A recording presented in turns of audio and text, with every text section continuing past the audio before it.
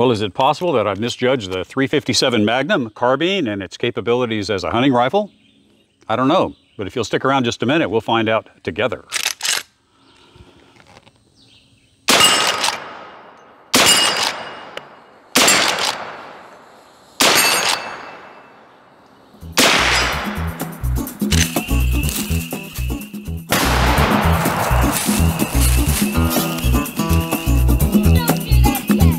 Hi, George here, and welcome to Tales from Target Suite, where I'll share my perspective on guns and shooting, and we'll have an adventure or two that will make even a grown man smile. And the adventure today is me finding out, us together maybe, whether or not I have misjudged the capabilities of the 357 Magnum carbine combination when it comes to a short range deer getter. And so I've got uh, four different loads that we're going to look at today, two factory loads and uh, two hand loads that we're going to consider. We're going to do a little bit of quick work like I've done in the past with the uh, chronograph. We'll just blow through some numbers real quick so you know what we're dealing with. And then I'm going to break out the ballistic gel and we're going to see uh, test penetration because that's always been my concern about the uh, 357 Magnum cartridge is um, under ideal conditions, yes, it's 357 Magnum would be fine on medium-sized deer, I would say, but um, but on less than ideal conditions, uh, wrong at bad angles, things like that, uh, just have always wondered whether or not the 357 Magnum was really adequate. So we're going to look and see if some of the new information that I have might have changed my mind. And I want to thank a viewer of mine, his name is Brad. He emailed me with some load development that he had done based on a 180 grain cast bullet. Got me to thinking, we had quite a bit of back and forth. He had done a lot of homework. Then, uh, based on his research, I did my own, put together my own hand loads, and uh, just like Brad, I was impressed with what I found. But we do have four different types of ammo that we're going to shoot. One is going to be, because I think weight is one of the issues um, that you have with a 357 Magnum. And so here's a 180 grain XTP bullet from Hornady. And then another one we're going to look at, and this is the load that we that uh, Brad developed, and it's the one I have worked up as well. And it's based on a Cast Performance 180 grain jacketed or 180 grain wide flat nose gas check bullet hard cast. So we'll take a look at that. But we've also got some Borns, Borns some Barnes VOR-TX. It is the um, uh, 357 Magnum, 140 grain XPB hollow point. It's a solid copper bullet. And uh, we'll take a look at that. And then the last one is the Buffalo Bore Heavy 357 Magnum Outdoorsman. It's um, topped with 180 grain hard cast uh, long flat nose gas check bullet as well. So uh, this one right here, we have seen, we have looked at both of these on the channel before. Maybe my eyes were wide shut uh, when I looked at those before. But anyway, let's get started with just a little bit of chronograph work real quick and um, just so you know what we're dealing with.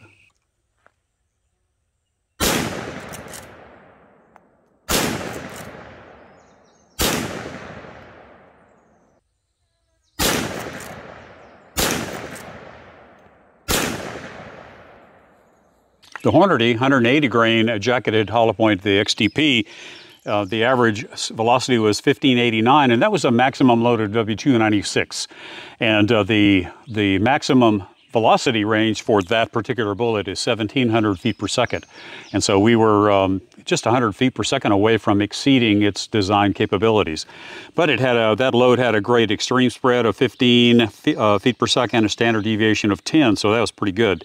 Then my hand loads here with the 180 grain hard cast bullet with Lil'Gun powder, the one that started the whole discussion with Brad, had an average velocity of 1783, an extreme stream spread of 35 feet per second, and a standard deviation of 17.3. So uh, not the best, but we are talking about a short range deer cartridge. And then the Buffalo Bore Outdoorsman had an average velocity of 1827, an extreme spread of 9. I'd love to know what powder they're using, and a standard deviation of 4.8. And so that 180 grain hard cast bullet from Buffalo Bore is quite the pill. And then the last one we shot was the Barnes 140 grain XPB. And uh, average velocity of 1878, an extreme spread of 9, and a standard deviation of 4.6. So if I was to take anything away from this, I would say that the Lil'Gun powder is not giving me at, at that load, which is absolutely bumping up against maximum, is not giving me a good extreme spread. Well, that guy was about to assign all of the blame for the extreme spread standard deviation to the Lil'Gun powder. And um, what he didn't know was that the brass that he chose, don't ask me why he picked range brass for those particular loads, but that range brass had a terrible problem with enlarged primer uh, uh, flash holes, off-centered flash holes. It was just a mess. And um, and the and he chose for the Hornady hand loads with the 180 grain XTP, he chose a brand new Starline brass. Go figure. So anyway, we can't say how much of that uh, enlarged um, standard deviation extreme spread was due to the flash holes and how much was due to the Lil'Gun powder. I'll um, rebuild those loads someday with uh, some brand new brass. We'll see what it does to those numbers. But right now, let's let that guy get back to the video. But uh, we're going to do some more shooting with those rounds. We'll see if I can get them onto these uh, smaller plates and um, is it decent accuracy. So uh, with that said, let's do a little bit of shooting with those hand loads and, the, uh, and also the Barnes and the uh, Buffalo Bore.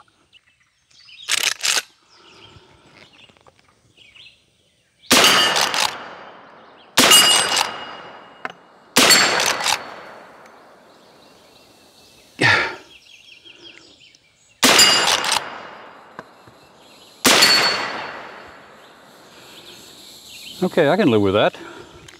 Now let's shoot the 180 grain hard cast bullet. This is the Cast Performance hand load.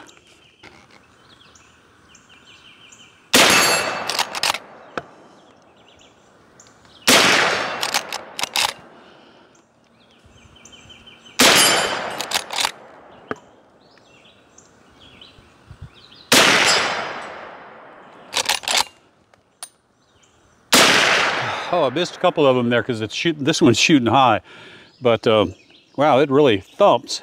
It thumps the shoulder. It also thumps those targets down range. Let me put one more in there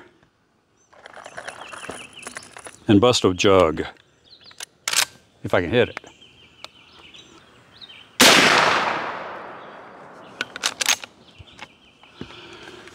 All right.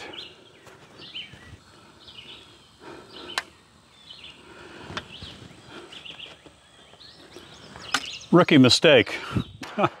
the splatter from one of those shots took out both a can and a jug. All right, here we go. These are the Barnes 140 grain XPBs. These guys here were the fastest of all the rounds that we tested. I'm going to start with that jug.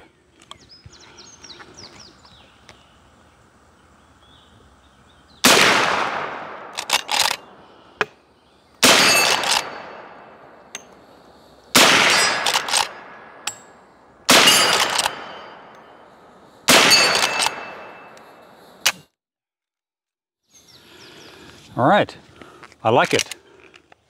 So this bullet right here is the Buffalo Bore Outdoorsman 180 grain long flat nose bullet.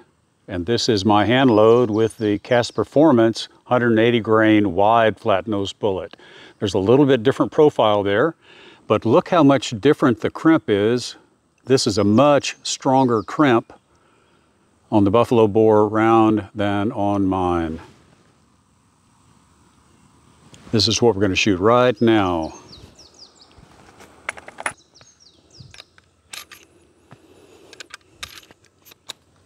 This is a nice one.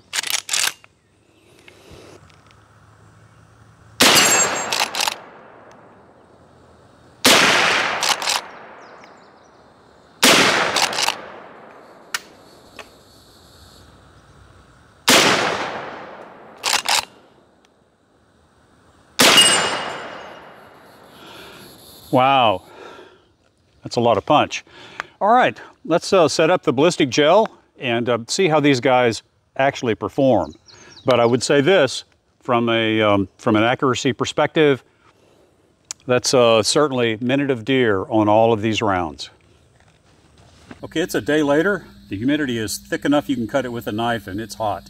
But the gel is set up right over there. I've got two blocks. You'll see it. I'm going to give you a pass through, but I've got uh, 32 inches of clean gel. I've got two more blocks set sideways, so that's another foot of gel. And then I've got some logs behind there. So hopefully we'll catch all of these bullets. I really want to see what kind of expansion we get with the two uh, to the two hard cast bullets because I think they're going to go through both uh, both of the first two gel blocks, but we'll see.